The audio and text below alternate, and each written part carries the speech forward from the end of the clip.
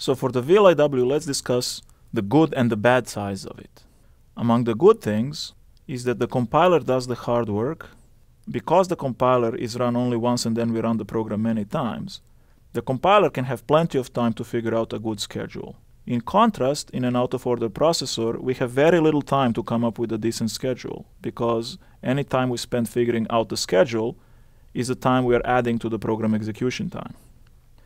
The VLIW processor typically will have simpler hardware than a comparable out-of-order processor. A VLIW processor can be more energy efficient than an out-of-order processor because the hardware has less to do per executed instruction.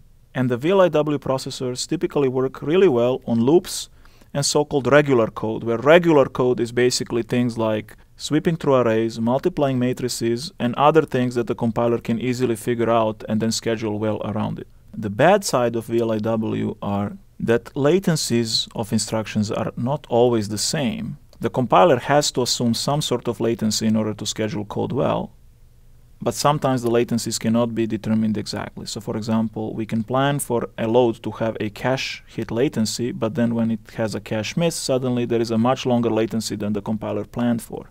Second, many applications are irregular.